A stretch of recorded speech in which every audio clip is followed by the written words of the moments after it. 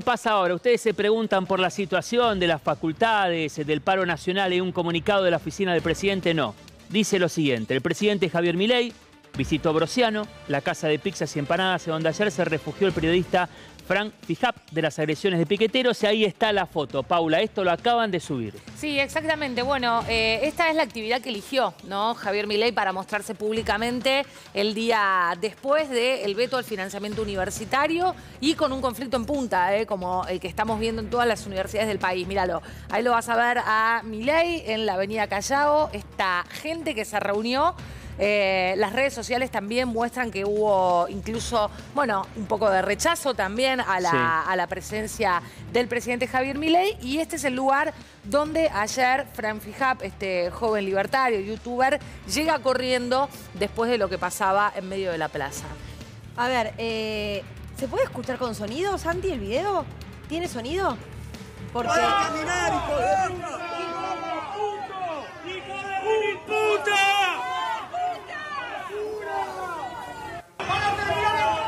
Esto es desde la vereda de enfrente, porque claro, por toda la seguridad que rodeaba al presidente, no podía uno acercarse. Fue con guardaespaldas, con los autos de presidencia, a sacarse la foto y eh, quienes estaban por ahí, que en general es una zona de mucho laburante, porque son esas zonas que de noche en la ciudad quedan casi vacías, pero de día mucho, mucho movimiento. Eh, no todos contentos con la presencia de Javier Milei. No, no todos contentos. Ellos sí están contentos en el gobierno. Eh, yo les contaba eh, hace, hace un rato que la impresión de ayer era, bueno, la sensación de finalmente haberse consolidado como un bloque mucho más grande. la lectura que hacen al interior de la Libertad Avanza es, ya no somos 39, somos 80. digo, las formalidades, si interbloque, si no interbloque, no importa ellos lo que sienten es que siempre van a tener este número eh, y, celebraban ¿no? esto que pasó en el día de ayer, minimizando incluso los costos políticos que pueda llegar a tener este, bueno, este conflicto con los estudiantes universitarios. De hecho, ayer mucho elogio para con eh, el macrismo, mucho elogio para con el bloque del PRO en la Cámara de Diputados. Digo, se ganó Cristian Ritondo una silla en eh, la mesa chica, la mesa política que, los tiene sentados allí a Santiago Caputo y a Karina Milei. Él ahora va a formar parte de estas conversaciones. Una de las críticas que tenían desde el PRO era no nos escuchan. Bueno, ganaron esta silla.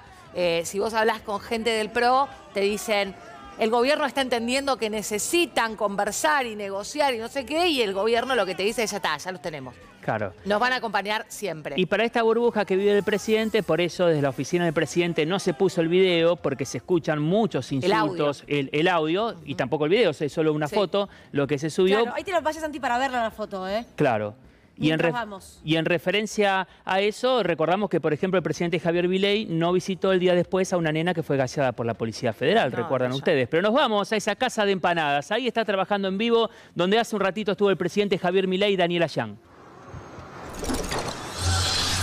Gracias, Rubén. Sí, estamos sobre la avenida Callao, casi en la esquina con Mitre. Se sorprendieron las empleadas de este negocio de empanadas porque claro, estaban en pleno horario laboral y recibieron la visita del presidente Javier Milei, que llegó eh, acompañado también por el ministro Guillermo Francos hasta este local, donde ayer se refugió Franco Antunes, el influencer eh, Fran Fijap.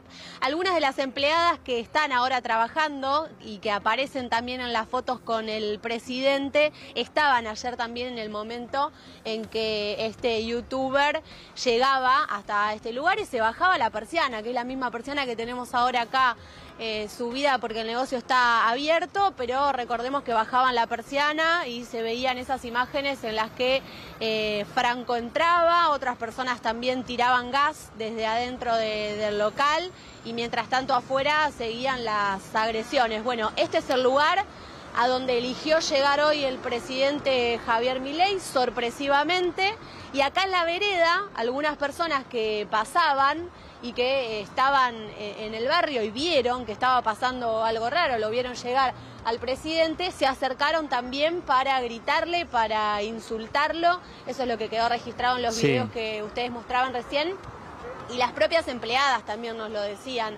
Bueno, había mucha gente que venía a saludarlo, pero había otra gente que venía a increparlo y a rechazar algunos de los gestos que había tenido el presidente, sobre todo los que tienen que ver con mensajes violentos o que muchas personas interpretan como mensajes que alientan la violencia y que en estos momentos eh, consideran que no son eh, favorables, que no contribuyen. Dani. Esta es la, vereda entonces de la avenida Callao protagonista en el mediodía de hoy. Sí, No, no, se ve que está interpelado eh, toda la libertad avanza con, con la cuestión de, este joven influencer, porque en las redes lo que se vio es que ayer lo recibió Martín Menem, eh, y hoy estuvo en Casa Rosada también eh, este joven, Franfi Happy, después hicieron este recorrido ahí por Avenida Callao.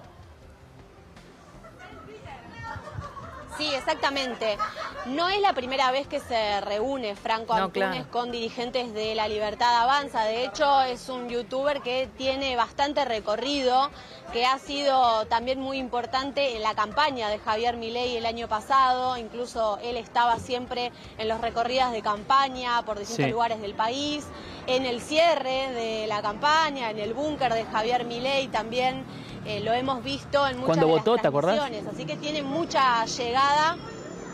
Claro, también, bueno, tiene mucha llegada, lo conoce al presidente desde antes de serlo y también a los dirigentes, por eso es que eh, no se sorprendieron al tener cercanía ¿no? con él en el momento de, lo que pasó ayer, de llamarlo, de hablar, y él también de alguna manera eh, recibe eso de una manera natural. Por ahí llama la atención haberlo visto sobre todo eh, en el contexto en el que se daba, ¿no? Muchos de los dirigentes, ayer el propio Martín Menem estaba a cargo de esta sesión, bueno, termina el día con este episodio. Eh, muy llamativo, les decía, para las empleadas de este local, porque pensaban que la anécdota terminaba ayer, ¿no? No se esperaban realmente que el presidente viniera hasta acá. Eh, más allá de, lo que había pasado, pensaban que terminaba ahí, ¿no? Pero bueno, vino, estuvo unos minutos acá, seguramente eh, también muchas personas que, pasaban aprovecharon para expresarse, ¿no? Sí, y ese es un tema, ¿no? Si el presidente Javier Milei, más allá del saludo de las empleadas y de la foto que se sacó, pensó o le dijeron, mire presidente, que la avenida Callao se va a frenar para aplaudirlo, le salió recontra mal. Sí. Porque quedó registrado en el video y se escucha la reacción de muchos laburantes en el lugar. Esa es la, lectura, ¿no? Eh, Javier Milei ganó el palacio ayer, pero perdió la calle. ¿No? Eh, y me parece que la comprobación empírica de esto que estamos diciendo es, por un lado, que ya no pueda pasar por Callao de Corrientes, o sí, Callao de Corrientes, es casi con tranquilidad a dos cuadras. Por otro lado, lo que está pasando en todas las universidades, digo, postales que llegan desde Mendoza, desde Córdoba, desde todo el país. Convengamos que no está muy acostumbrado a caminar la calle en ninguna situación. Siempre lo ha hecho en contexto de movilizaciones o actos libertarios de campaña o ahora de gestión como Parque Les Ama. La realidad, cuando uno piensa en asfalto, es otra. Dani, gracias.